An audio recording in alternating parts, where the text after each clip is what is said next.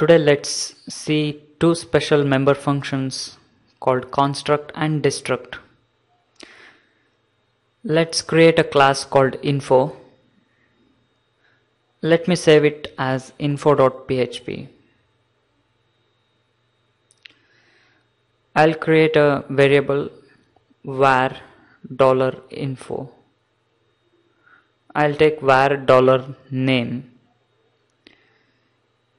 outside of the class I'll try I'll initiate the class instantiate the class info and then access the variable dollar $name outside of the class.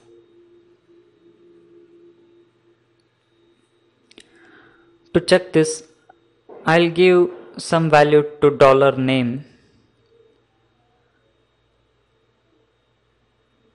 I'll give some string value to it.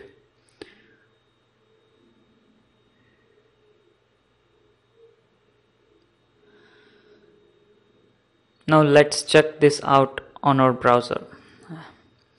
This is something similar to writing public dollar $name. So the output should be same. Yeah. Let's make it private variable since dollar $name is private, we cannot access it directly outside of the class. For example, dollar $a and calling the name should give an error that is cannot access private property.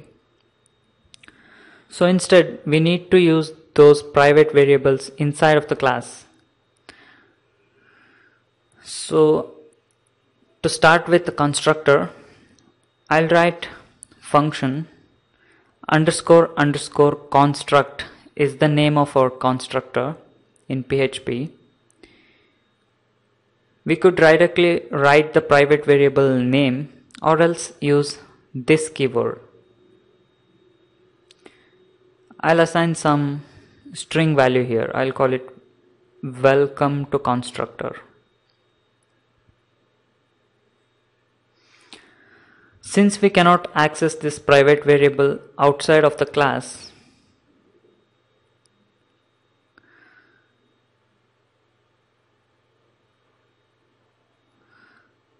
I'll echo the value of dollar $name inside the class. Since underscore underscore construct is a member function, we can directly access dollar $name or else we can write use this keyword.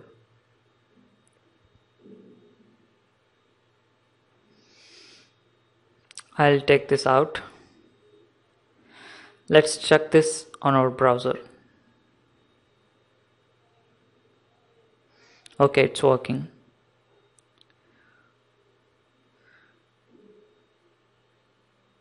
we could even remove the object here. Once info is called the constructor is executed the constructor function is executed and it throws an object which we could catch for further processing or else just leave it. And it works just fine. Now let's see parameterized constructor I'll assign the value of dollar $name to the parameters. Let me show with only single parameter here, single argument. Now I'll pass the value to the constructor. I'll pass parameterized constructor which will then be passed to construct function dollar text and then which is assigned to the private variable dollar $name which is then echoed out to the browser. Yeah it's working. Now as our previous example we'll just remove this out and separate the class file and the application file. Make sure you include info.php where your class file resides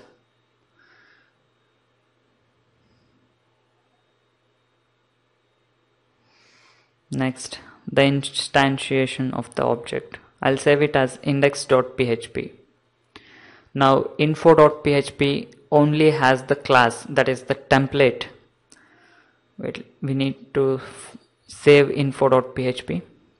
Now info.php doesn't output anything because it's just a class file. Our processing is inside our application file that is index.php.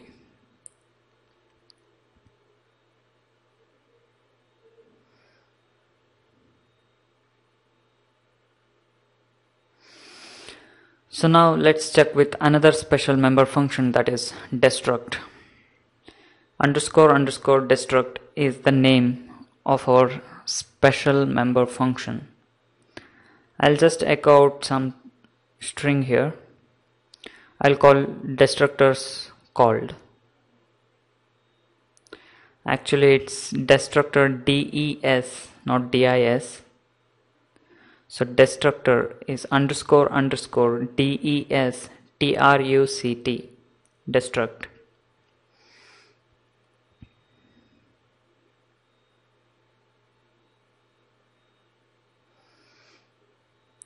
This is the class which has two member functions that is construct and destruct. Remember destruct doesn't take any parameters. It's always empty. Once the instantiation that is info is called the construct method is called and the parameter is passed to it which is then which is then assigned to the private variable and is echoed to the browser. The destructor the destructor function is automatically called when all references to a class have been unset or fallen out of scope so now let's test this on a browser. Okay it's working perfectly.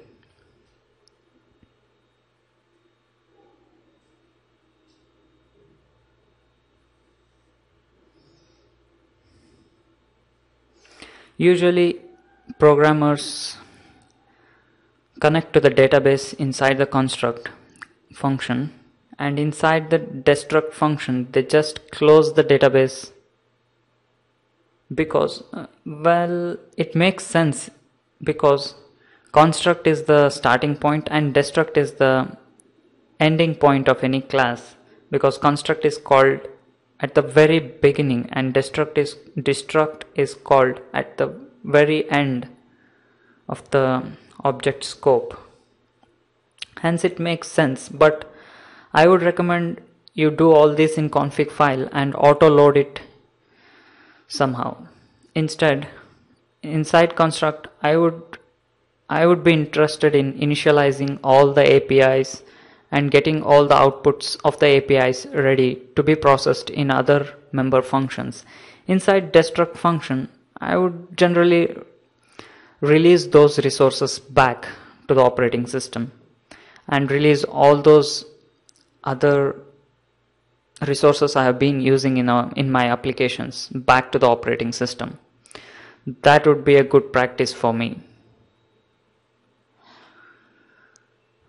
Remember while we teach you CodeIgniter framework we will be showing you how to connect to the to the database using config file and how to auto load your databases.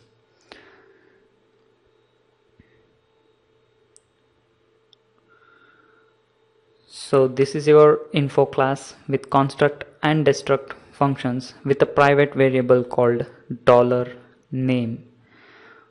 Once you instantiate, construct is called and it throws an object which you could catch here and make use of this object for further processing. Using this object, you could call the member functions which is public usually and using those public variables you could operate on the private variables of the class. Please practice this program and stay tuned for further object-oriented programming using PHP video tutorials. Please share this video with your friends on Facebook, Google+, LinkedIn, Twitter, etc. and please visit technotip.com and do not forget to like this video on YouTube.